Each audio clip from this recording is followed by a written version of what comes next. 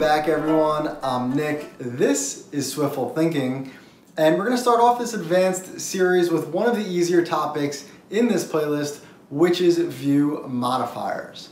And in SwiftUI, we actually use view modifiers all the time. Every time you call .font, .foreground color, .background color, those are actually view modifiers. And what they do is they take the current view, they add a modifier, and then return a modified view. So all view modifier is, is basically taking the current content, adding something to it, and then returning it back to the view. So, so far in my courses, we have just stacked view modifiers on each other. And if, for example, we wanted to create the same style or the same formatting on like a button in multiple views, so far we would have just copied all those modifiers onto all of our views. But what's actually more efficient and you should use in your apps is a custom view modifier. So by creating a custom view modifier, we can actually stack a bunch of regular modifiers together to create a really unique and custom formatting. And there is a lot of benefits to doing this in our code, but the most important is probably reusability. Because by using custom view modifiers, we can really control how we want all of the views in our app to look, and we can get all of those views to refer back to a single source of truth for how that button or that view should look. So it's easier to update, it's easier to maintain, and it's easier to code because once we have it implemented, it takes one line of code to add a custom view modifier. So many of you probably already know about this, but I have not covered them yet, so I wanted to get this out of the way before we move into harder stuff. All right, so uh, let's jump into Xcode and get coding. All right, welcome back everyone. So it's been a while since I've made a coding video. Uh, let's start this course off just like we started the other ones. Let's open up Xcode. Let's create a new Xcode project and it's going to be an iOS project. We're just going to use a regular app and let's click next. The product name here, I'm going to call this Swiftful Thinking Advanced Learning. You can call it whatever you want. Uh, we've been through this before, but the team, it's okay if you have none, but you can put your team there. The organization identifier is com dot and then your name, your team name, your organization name, and then the bundle identifier will automatically populate with your organization identifier dot and then the name of your project. The important thing on this screen is to make sure that the interface is Swift UI, the lifecycle is Swift UI app, and the language, of course, is Swift. Now we are going to use CloudKit and we are going to use tests in this course, but we do not need to check these boxes right now. We're gonna add that code ourselves. So you can leave this unchecked, go ahead and click next and find where on your computer you wanna save this project. Once you find a folder, go ahead and click create and let's jump into the project here. Let's make it full screen. The first thing I like to do is click resume on the canvas just to make sure that it is all connected. I'm going to go up top here and change the preview device to an iPhone 12 just because it, I think it looks a little better. All right, and let's create a file for this video. So I'm gonna right click the navigator as we always do. Let's create a new file and you probably guessed it, it's gonna be a SwiftUI view. Let's call this view modifier bootcamp and let's click create. While we're in here, let's again click resume on the canvas, make sure this is all connected, and I'm going to right click on the content view file and I'm going to delete it because we don't need the content view in this project. I'm going to also jump into the Swiftful Thinking Advanced Learning app.swift file and change the first view from the content view, which we no longer have, to the view modifier bootcamp view. Let's go back into the view modifier bootcamp. Again, click resume and let's do some coding. So many of you probably are already familiar with view modifiers. Uh, I debated covering them earlier in my courses, but I think this is a good, easy first step into this advanced course. So we're going to start pretty simply by creating a VStack here. And in the VStack, let's put a very simple text that says hello world. On this text, let's add some modifiers. So let's do a font of maybe dot headline. Let's do a foreground color of, of white and maybe a background color of color dot blue.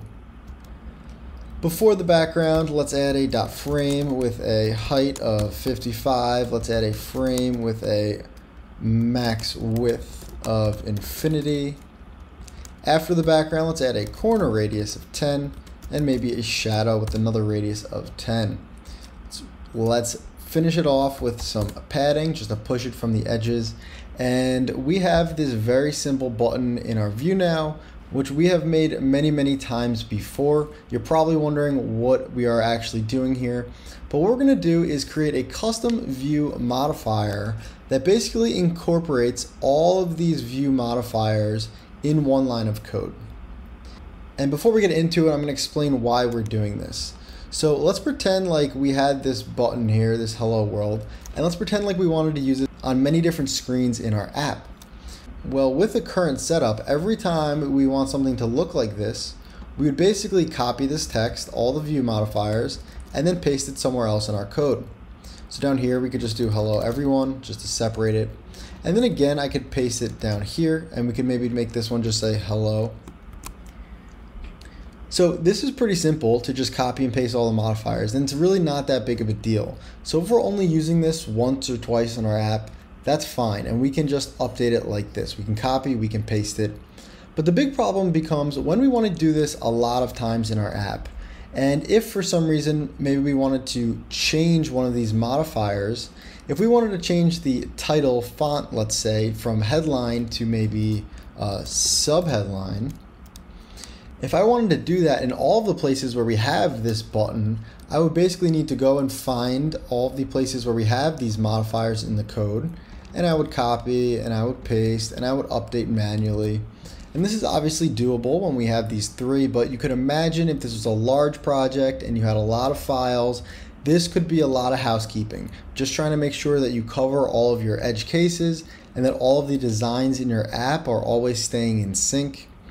So what's better than copying and pasting all of these modifiers a bunch of times is actually creating a single view modifier and then just updating that modifier. So let's scroll back up here and outside the view, I'm gonna create a new struct. And I'm gonna call this default button view modifier. This will conform to view modifier and then I'll open the brackets. And just like we've created a bunch of views that conform to view, we're creating a view modifier that conforms to view modifier.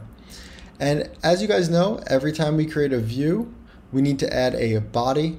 Every time we create a view modifier, we also need to add a body. And if I start typing body and I go down to this completion here, you can see that the body is just slightly different than the view body. And the difference is that this body comes with content and this body does not have any existing content. So in the view modifier, let's start by just returning the content. So basically we're going to add this view modifier here and all we're going to do is return the content as it is so it's not going to actually look any different uh, than it currently does. So on this hello world text here, I'm going to start by commenting all of this out. I'm going to highlight it, I'm going to hold the command button and click the backslash and comment this all out. Let's resume the canvas and you'll see that we just have our plain hello world here. And instead of adding these modifiers, I'm just going to add this one modifier. And to do that, we're going to call dot modifier. And then we can put in a modifier here, which is going to be the default button view modifier. And I'm going to open and close the parentheses uh, just so that we can initialize it. So this modifier is what we just built here. And all it is is returning the content as is. And that's why this looks exactly the same right now. But if I took this font modifier and added it onto the content, this modifier will actually return the content plus font of subheadline. And let's actually do headline. So we can see that the title updates here. And I want you to see that adding this font headline to the content is the exact same as if we just added dot font of headline onto this text. If so I add this text and I add this font of headline, this font of headline is actually its own view modifier. And it's taking the content. The content is all of the previously added things to it. So everything above this line, which is just the text, and that's the content that's going into this font, and then they're adding the font of headline after it. So I want you to realize that because this view modifier is nothing more than these view modifiers. It's just that we can stack a bunch together. So what we're going to actually do here is I'm going to highlight all of these, comment them out. I'm going to cut them. Let's delete the font here. And I'm going to just paste them onto the view modifier up here. Let's uncomment this. And now we can see how we have the exact same view except one line of code in our app. So if we wanted to copy this across all of our buttons, we could just copy and paste like this. And now if we ever need to update, you know, what this button looks like, let's say maybe we want to change this from blue to red, instead of having to go to each location where we implemented this, we can just go up to the view modifier and change it in one location. So this is so much more efficient and we only have to write this code out one time. Now you might be wondering why we need to add this dot modifier because when we add dot font or dot foreground color, we never have to call dot modifier before. So why do we have to do it now? And the answer is simply because we have not made it a view extension for this modifier. And we can actually do that very, very simply. So up here, in between these structs, I'm going to create an extension for view. And remember down here, we're in a view. So we're going to extend view here. And let's create a func. Let's call this with default button formatting. Open close parentheses, open the brackets and this is going to return us some view. So just like the body returns some view, this function is going to return some view. And it's going to return the current view, so self, and then we're going to add dot modifier, and here we're going to add our default button modifier. So it's returning the current view with this modifier on it. And because it's the current view, we actually don't even need to include the word self here. I just did it just to explain it to you guys. So I'm just gonna delete this and we can just add modifier of default button modifier. So now, just like we can call very easily dot font or dot font weight, we can now call dot with default button formatting. And then I don't need this modifier at all and when I click resume, it's still going to build. So you can see how awesome this is when we set up custom formatting, we can add we can create custom view modifiers and then create custom view extensions and then so easily, so quickly, we can add that to our text here, right? So if I'm building my app, all I need to do is add this text here, then go dot with default formatting, and in one second I have the exact button that I need, and that is magic. And I just want to point out that when we create these view modifiers, we do really need to think about what modifiers we want to put in here because some might be better than others. Because, for example, this padding is great to make the buttons look good, but the actual but the actual amount of padding that we want on each screen might differ. So it could be an idea to not include the padding in the view modifier. And instead, maybe we just put padding or maybe some spacing in our VStack down here and padding around the outside. Uh, just, just because that might make our view modifier a little bit more dynamic. Similarly, I also find that including the font inside the view modifier sometimes isn't perfect because uh, not every view can actually support a font. So I like to just leave the font out of a lot of these and then we can add the font ourselves. So we can add dot font of headline maybe down here, dot font of subheadline, and then maybe that font of title. So now we can use the same view modifier, but we can also still customize the font. And the last thing I want to show you guys before we wrap up this video is that we can customize these view modifiers. So when we create a view, like we've done many, many times in my courses, there's a lot of times where we initialize it with certain parameters, like maybe let background color of type color. And every time we create that view, we need to initialize with a color. So I'm not going to do it here, but You've seen this before where we create a view and then we add a background color. And in that same exact way, we can do that for view modifiers. So I'm going to go up here to my view modifier and initialize it with a background color. And then I'm going to take that background color and I'm going to make that the background in the view modifier. So I'll make that the background here. And now every time we initialize this default button view modifier, it's going to ask us for a background color. So I'm going to fix it here. And I'm going to fix it down here as well. So what I call with default button formatting, right now there's no parameters in this function. So if I change this to dot blue, it's always going to be blue and we cannot actually customize it through this modifier here. But what we can do is actually pass in the color as a parameter to this function. So here I'll say background color of type color, and I will pass that into the view modifier.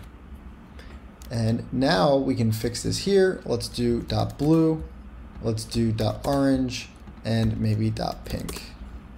If I click resume, we can now customize our view modifier. So we have pretty much the same so we have pretty much the same button, but with slight differences.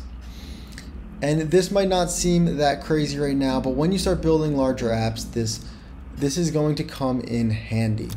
So I'm going to copy and just paste this down here so we get rid of the actual modifier. And we could even do something like where we give this a default color, so background color of type color, and we'll set it equal to dot blue. So if we don't pass in a background color, we'll just set it to blue. And now we can actually just call these without changing the color. So we can see here, if I click resume, it'll still be blue. Let's change these to orange so they override. So when I add nothing here, it's going to default to blue. All right, and that's pretty much it for view modifiers. I know this was a fairly simple video, but you can go and basically stack as many modifiers as you want onto content, and then we can use these view modifiers very efficiently throughout our code. All right, guys, now you know how to use view modifiers, you know how to create extensions for those modifiers, and you can go and add this into your app, which should hopefully save you a lot of time and effort. And I do want to finally point out that if you watch this video and you got very confused and this was a challenge for you, it might be an idea to go watch some of my previous playlists on YouTube, which are much easier and much more beginner focused. This is an advanced playlist, and this is going to be one of the easiest videos in this playlist. All right, thank you guys for watching. As always, I'm Nick, this is Swiftful Thinking, and I'll see you in the next video.